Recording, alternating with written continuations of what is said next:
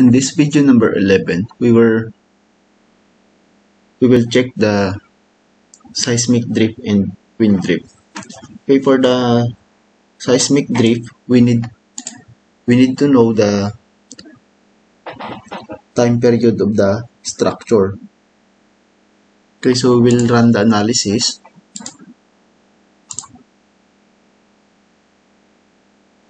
So analysis completed.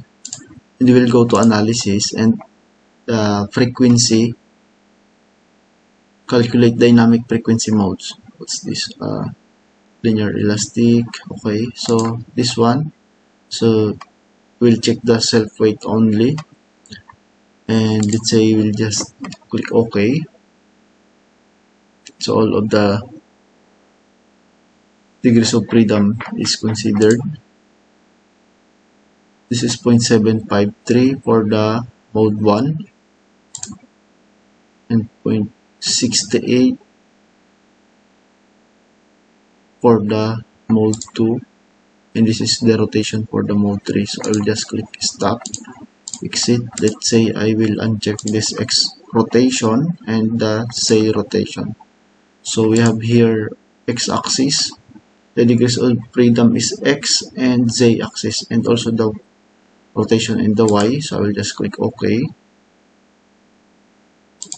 So I'm just investigating the behavior of structure. So this is the mode 1 this is 0.4 seconds mode 2 and mode 3 let's say I will include all of this degrees of freedom. Self weight only click OK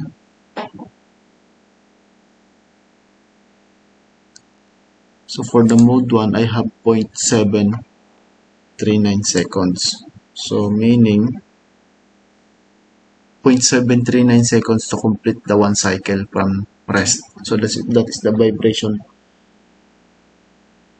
property of the structure.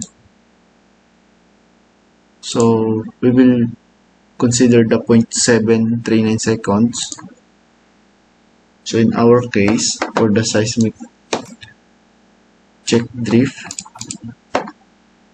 So for the time period so this is uh, this can be seen in the code.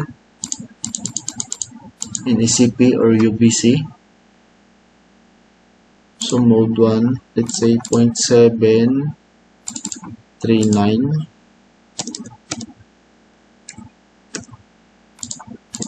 and the mode 2 is 0.633 okay so we'll just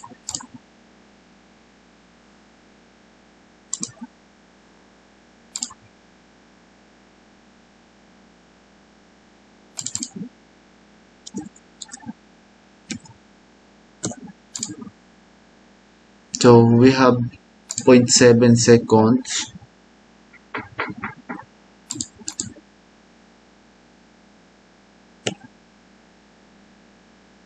greater than 0.7 seconds. So we will uh, get this h over to 97.5 so that that is equivalent to if we have 3.6 meter height divided by 297.5 so that is equivalent to 12 mm so the the allowable drift or the allowable movement of uh, succeeding floor is only 12 mm so if you have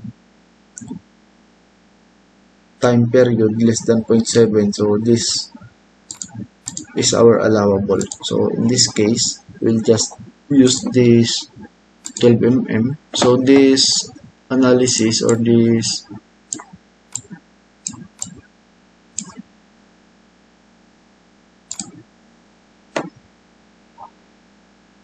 Okay, so we'll have here 0.7 seconds uh, greater than 0.7 seconds. Okay, so we have 0.739 seconds. So I'll just say stop, exit, and I will go to analysis and we will check the check story drift. So I will just click these columns to be able to check all of the columns lateral drift. And I will uh, click uh, check size, uh, seismic drift X and seismic drift Z direction.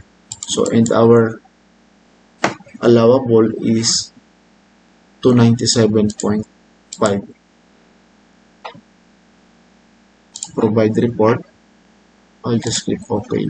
So uh, FrameCE say that failure in story drift due to load case number 17 seismic drift say.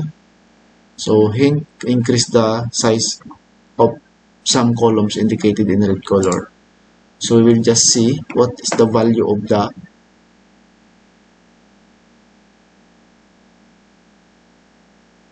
drift induced by the response of the uh, induced by the earthquake. So the, the the system will respond and there is a lateral drift so this is the report. So it says that the allowable is 12 as we compute. And this is the column element number. So the column element number is located at this one. So column number. So this is it 1 2 3 4 cancel and I will just click. So 1 2 3 4 so 1 column element 1 the story drift is 2 and column 2 is the story drift is 21 so this is the actual drift and this is the allowable. So meaning this is fail. This is uh, along x. So that's why we have to rotate the column or we have to to reorient the column. Let's say this is 450 mm along this x direction because this is 8 meters okay? And the height the factor of the height of the building is um, the height factor is very I mean because the stiffness as the column increases in height the stiffness um, becomes lower or smaller. So in this case we will uh, resize the column or we can reduce the structure uh, if we can reduce the the mass the masses uh, it, it will help to reduce the the seismic forces. So that that is also one option. And also uh, add the material strength for the concrete. That is one of another option. And also resize the column. So that is the another option. Okay so this is how to check the seismic drift so we will just uh, maybe uh, I will just investigate the model and I will just run it. And but by the way this is just how we do the checking in seismic drift okay so for the wind drift so I will just uh, I can get this file here and put it in analysis. I'll just close this one and also we will check the wind drift. So for the wind drift we have here uh, wind drift x and wind drift y. So the allowable is let's say h over 400 so that is from this code service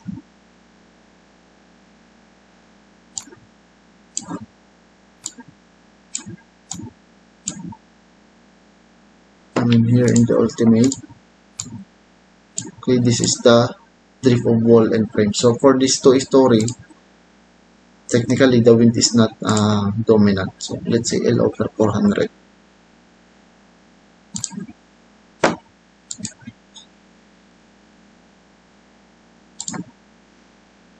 So for the wind, the parapet is the failure. So by but this one is not uh, it's not uh, this is okay because this is just for the two story parapet uh, column. Okay.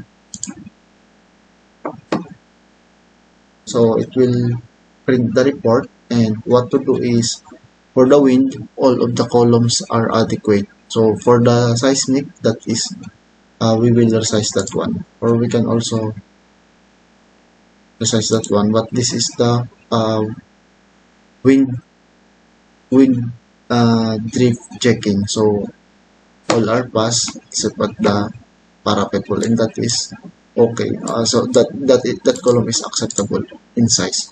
Okay so we'll just uh, resize the column use.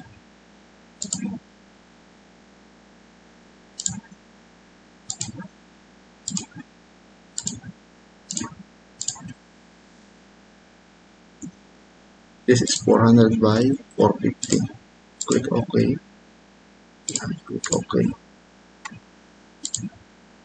So this column are now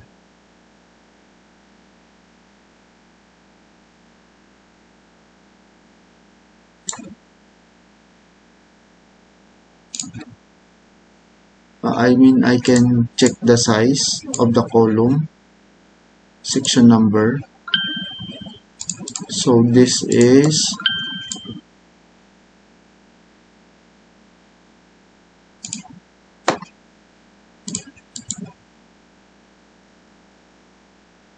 I will deactivate the column number.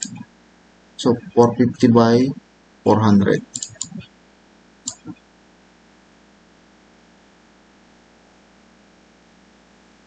so this should be 400 by 450 update. This one and I will just click. Okay. This is 400 by 450 click ok. And click ok. Oh I will uh, I will select the column and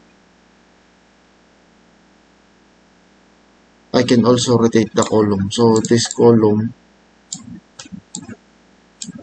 should be 400 by 450 so right click edit beam or edit column 400 by 450 okay so we'll just run hmm.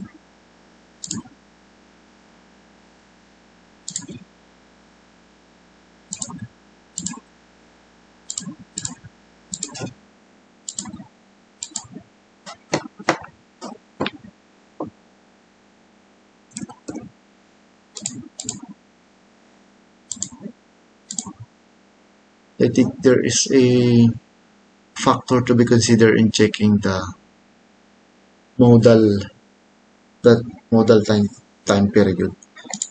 Because the procedure here in FrameCE unlike other software uh, the other software has its own modal analysis.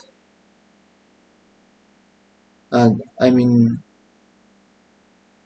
all uh, the other the other software or the modal analysis uh, is different for for some other softwares. The procedure the analysis procedure. So that's why in some software you will get a, a different value of time period. Because there is a calculations consideration for using another analysis.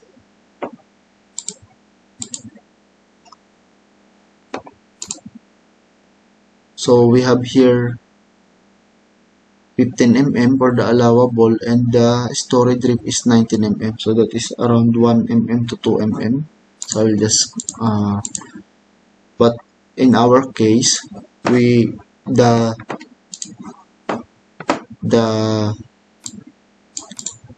we will be using 297.5 so I'll just I just run it to 238 L over 2 uh, H over 238 but we we have to use this H over 297.5 okay so I will just select this one and this is 297.5 so the allow uh, what will happen is the allowable will become smaller it will become 12 mm for the column with a 3.6 meter height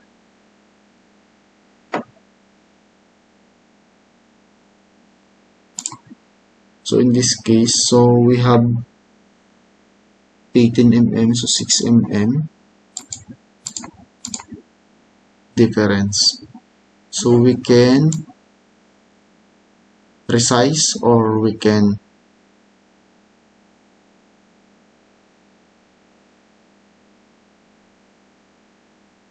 review the the um, the masses because in our slab we can also use 125 125 mm thickness or 100 130 mm thickness. But we use 150 mm for the slab uh, analysis and design.